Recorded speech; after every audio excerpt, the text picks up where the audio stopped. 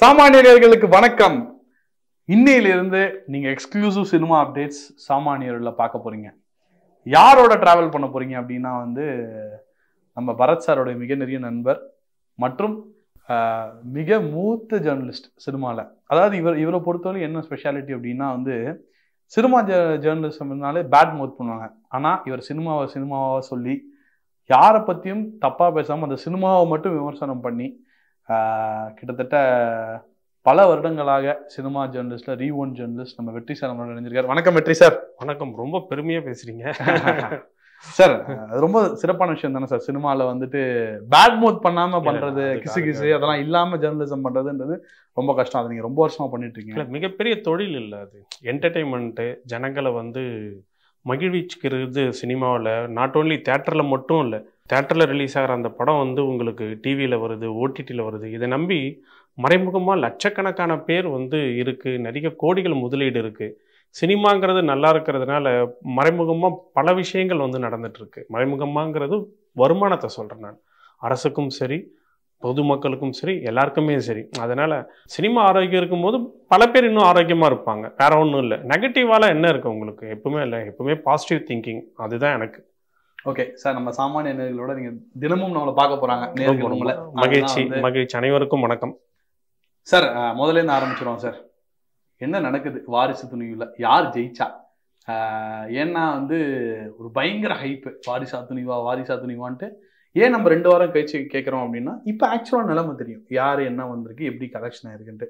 தமிழ்நாட்டுக்குள்ளே யார் ஜெயிச்சா? வேர்ல்டு வைடு யார் ஜெயிச்சா? இல்லை வேர்ல்டு வைடுன்னு பார்த்தீங்கன்னா வந்து வாரிசு தான். உலக அளவில் வாரிசுவோட வசூல் வந்து ஏறக்குறைய இன்னைக்கு நான் சொல்கிறது இன்னைய தேதி இந்த ஜனவரி முப்பதாம் தேதி வந்து ஒரு முந்நூறு கோடியை நெருங்கி இருக்குது அப்படிங்க ஏன்னா அவங்களே அதிகாரப்பூர்வமாக இரநூத்தம்பது கோடி வசூலிடுச்சுன்னு அனௌன்ஸ் பண்ணிட்டாங்க. இந்த ரெண்டு நாள் குடியரசு தினம் அதுக்கப்புறமா சனி ஞாயிறு விடுமுறை நாட்களில் கொஞ்சம் வசூல் நல்லா இருந்தது. கண்டிப்பாக அது ஓடி முடிக்கும் போது வாரிசு படம் ஒரு முந்நூறு கோடி வசூலை கடந்த ஒரு படமாக நிச்சயமாக இருக்கும். அதே மாதிரி துணிவு பொறுத்த வரைக்கும் இரநூறு கோடி கடக்குமா இல்லை இரநூறு கோடியில் வந்து நிற்குமா அப்படிங்கிறது மட்டும்தான் கேள்விக்குறி. உலக அளவில் வந்து வாரிசு தான். அதில் வந்து மாற்றுக்கிறது கிடையாது. ஆனால் லாபமாக எந்த படம் அதிகமாக கொடுத்துருக்கோம் அப்படின்னு எதிர்பார்த்தீங்கன்னா அது கண்டிப்பாக துணிவு தான் ஏன்னா துணிவு கலெக்ஷன்ஸ் அதிகம்ன்றீங்க. இல்லை கலெக்ஷன்னா கூட உங்களுக்கு வாரிசு படத்தை பொறுத்த வரைக்கும் அதனுடைய சம்பளமே வந்து டூ தேர்ட் போயிருக்கும். யாரோட சம்பளம்? ஹீரோவோட சம்பளம் மட்டுமே.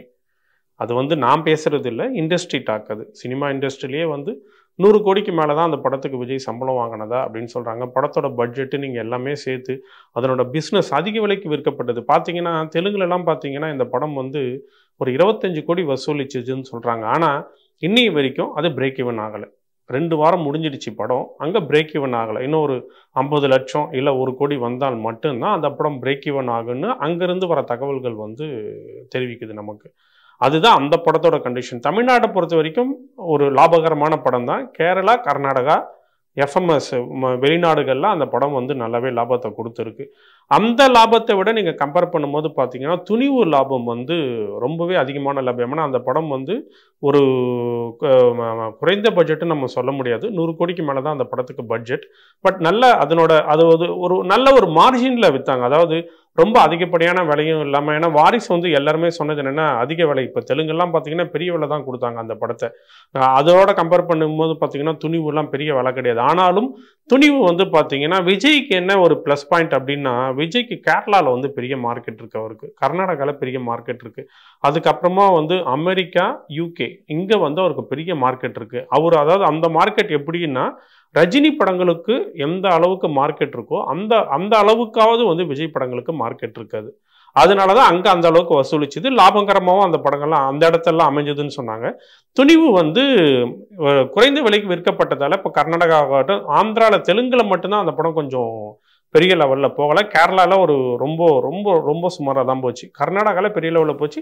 வெளிநாடுகள்லாம் அந்த படம் போச்சு. ஆனால் லாபகரமாக எந்த படம் அமைஞ்சது அப்படின்னு பார்த்தீங்கன்னா துணிவு தான் லாபகரமாக அமைஞ்சிருக்கு அப்படிங்கிறது தான். இன்றைக்கில் இல்லை அது வந்து முதல் வாரத்திலே சொல்லிட்டாங்க. அந்த ஃபர்ஸ்ட் வீக்கெண்ட் வந்து இது இல்லையா? அப்போவே சொல்லிட்டாங்க. துணிவு வந்து சீக்கிரமே பிரேக் இவன் பாயிண்ட்டு கிராஸ் பண்ணிடுன்ட்டு என்னென்னா அவங்க அதிகாரப்பூர்வமாக வசூல் அனௌன்ஸ் பண்ணாமல் இருக்காங்க. அதுதான். அது மட்டும் அவங்க சொல்லிட்டாங்கன்னா அது பிரச்சனை இல்லை இப்போது இப்போ இன்றைக்கே பார்த்தீங்கன்னா இப்போ இந்த வீக்கில் பார்த்தீங்கன்னா பதான் படம்லாம் நானூறு கோடி கிராஸ் ஆயிடுச்சுன்னு அவங்க அதிகாரப்பூர்வமாக அனௌன்ஸ் பண்ணிட்டாங்க. இந்த துணிவு படம் ஏன் பண்ணாமல் இருக்காங்கங்கிறது ஒரு பெரிய கொஸ்டின் மார்க் அது சொல்லிட்டு இருந்தாங்கன்னு வச்சிங்களேன் இந்த கேள்விகள் வந்து ரசிகர்கள் மத்தியில் அதிகமாக வராது. ஓகே. சார் எப்பவுமே விஜய் சார் வந்து தனியாக வந்தாருன்னா அசால்ட்டாக ஜெயிச்சுட்டு போயிடுறாரு.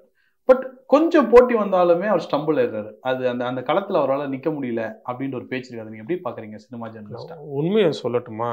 இந்த ரெண்டு படங்களுமே இப்படி ஏடிக்கு போட்டி வந்ததால தான் இந்த அளவுக்காவது கலெக்ட் ஆச்சு. ரெண்டு படங்களுமே தனித்தனியாக வந்திருந்தா நிச்சயமாக அந்த படங்கள் சக்ஸஸ் ஆகியிருக்குமாங்கிறதே சந்தேகம்தான். போண்டியா இருக்குன்னு சொல்றீங்க. போண்டின்னு நம்ம சொல்ல முடியாது. அது எது ஓடி இருக்குங்கிறது வாரிசு வந்து ஒரு ஒரு ஒரு ஒரு சிரமத்தை சந்திச்சிருக்குங்கிறது என்னோட கணிப்பு. ஏன்னா அது ஒரு நெகட்டிவான விமர்சனம் வந்து வாரிசுக்கு தான் அதிகமாக வந்தது. துணிவு படத்துக்கு வந்து நெகட்டிவான விமர்சனம் வந்து அதிகமாக வரலை. அதுக்கு ஒரு செகண்ட் ஹாஃப்ல ஒரு ஒரு சின்ன டைவர்ஷன் இருந்தது. ஏடிக்கு போட்டிங்கிற ஒரு கான்செப்ட் வந்ததால் ஊடகங்கள் மீடியாக்கள் யூடியூப் சேனல்கள் எல்லாமே வந்து அஜித் படம் விஜய் படம் ஒம்பது வருஷம் கழிச்சு மோதுறாங்க அப்படின்னு சொல்லி இந்த படத்தை பற்றி ஒரு மிகப்பெரிய ஹைப்பு கிரியேட் பண்ணிட்டாங்க. அந்த ஹைப்பே என்ன ஆயிடுச்சு? படத்துக்கு ஒரு இலவச விளம்பரமாக அமைஞ்சு இந்த ரெண்டு படத்தையுமே பொங்கல் விளம்பரங்கிறதுனால அப்படியே டேக் ஆஃப் பண்ணி சும்மா அப்படியே தாம்பாளத்தட்டில் தூக்கி வச்சு கொண்டுட்டு போனாம ரெண்டு படத்தையும் சேர்ந்து உண்மையை சொல்லணும்னா மீடியாக்கள் தான் இந்த ரெண்டு அவங்க ரெண்டு ப்ரொடியூசருமே தேங்க் பண்ண வேண்டியது மீடியாக்களுக்கு தான். எங்கே வேணாலும் பாருங்கள் நான் மட்டுமே இந்த துணிவு வாரிசு இந்த பாட்டு டிவிக்கல்ல நான் எனக்கு தெரிஞ்சு ஒரு ரெண்டு மூணு சேனல் தவிர இருக்கிற எல்லா நியூஸ் சேனல்லையும் நான் போய் பேசிட்டு வந்துட்டேன்.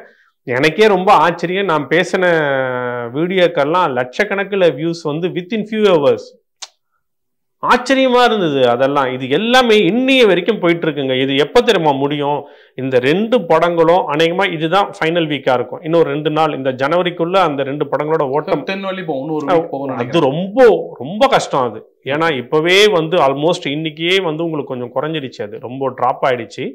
மூணாம் தேதி ஒரு மூணு நாள் படம் வருது. அதுக்கப்புறமா போகாது. இந்த போட்டி இப்போ இப்போவும் நிற்காது ஜனவரி பிப்ரவரி பத்தாம் தேதி வந்து பத்தோ பதினொன்னோ இந்த ரெண்டு படங்களுமே ஓடிடியில் வரதா பேசிக்கிறாங்க. அங்கேயும் வந்து ரெண்டு படமும் ஒரே நாளில் தான் ஓடிடியில் ரிலீஸ் ஆகுது. அதுவும் ஓடிடில ரெண்டு ஒரே நாள் தான்? ஓடிடிலையும் தேட்டரில் எப்படி பண்ணாங்களோ அதே மாதிரி ரெண்டு ரெண்டுமே ரெண்டு ஓடிடி லீடிங் ஓடிடி ரெண்டு படமே வரப்போகுது இது.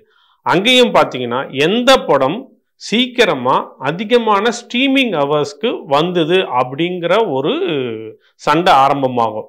அதுக்கப்புறம் இன்னொரு ரெண்டு மாசம் கழிச்சு அதிகபட்சம் தமிழ் வருஷ பகுப்புக்கு ரெண்டு படங்கள்ல ஏதாவது ரெண்டு படங்களுமே கூட டிவிலையும் டெலிகாஸ்ட் ஆகலாம். அங்கேயும். அங்க வர கண்டிப்பா வந்து பண்றவங்க இவ்வளவு பண்ணும்போது அதுக்கு பண்ணாமையா இருப்பாங்க. அப்போ எவ்வளவு ரேட்டிங் வந்தது? ஏன்னா விசுவாசம் வந்து டிவி ரேட்டிங்ல வந்து மிகப்பெரிய சாதனை படைச்சது.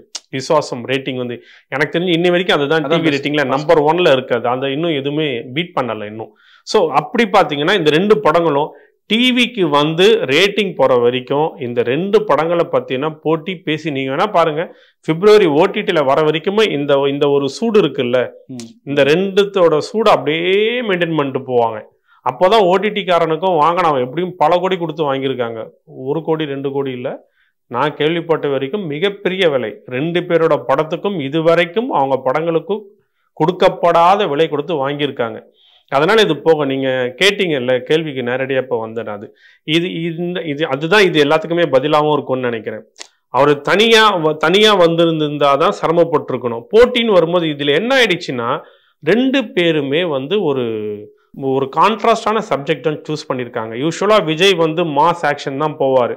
அஜித் ஓரளவுக்கு சென்டிமெண்ட் பேஸ்டு வலிமையில கூட பார்த்தீங்கன்னா சென்டிமெண்ட் இருக்கும். விசுவாசம்ல சென்டிமெண்ட் இருக்கும். நேர்கொண்ட பேர் சென்டிமெண்ட்டாக ட்ராவல் பண்ணுவார். ஆனா சென்டிமெண்ட்டாகவே ட்ராவல் பண்ணிட்டு வந்த அஜித் துணிவில் என்ன பண்ணிட்டாரு? எந்த சென்டிமெண்ட்டே இல்லை. அவரை ஒரு நெகட்டிவ் கேரக்டராக ஒரு வில்லனிக்கு ரோல் மாதிரி ஒரு ப்ரொஜெக்ட் பண்ணிட்டு போயிட்டார் அவர். அவரு அப்படி போயிட்டாரு. விஜய் கண்டினியூஸாக மாஸ் படங்களாக கொடுத்துட்டு இருந்தாரு. அவர் என்ன பண்ணாரு? சென்டிமெண்ட் பக்கம் போயிட்டாரு. இது ரெண்டு தான். இப்போ விஜய் வ- இதே வந்து துணிவு மாதிரியான ஒரு ஃபுல் மாஸ் ஆக்ஷன் படம் விஜய் நடிச்சிருந்தாருன்னு வச்சிங்களேன் நிச்சயமா வாரிசு கதை மாதிரி இல்லாமல் வேற ஒரு படம். இன்கேஸ் இதே மாதிரி காம்படிஷனுக்கு வந்திருந்ததுன்னா நிச்சயமா விஜய்க்கு உண்டான வசூல் முந்தைய படங்களை விட அதிகமான சாதனைக்கு வந்திருக்கும். ஓகே சார் அதோட நம்ம வாரிசு துணிவு நம்ம ஸ்டாப் பண்ணிப்போம். இதுக்கு மேல வாரிசு துணிவை பத்தி நம்ம பேச வேண்டாம் பிப்ரவரி டென்னுக்கு பேசணும். ஆமா. அடுத்த வாட்டி பேசிக்கலாம். ஆ ரைட் ஆமா எவ்வளவு ஸ்ட்ரீமிங்னு அப்போ வரும். அப்போ கலெக்ஷன் தெரிஞ்சிடும் ரைட் ரைட் அப்போ நம்ம நெக்ஸ்ட் வீக் பேசும்போது அது. I think it will be right topic நினைக்கிறேன்.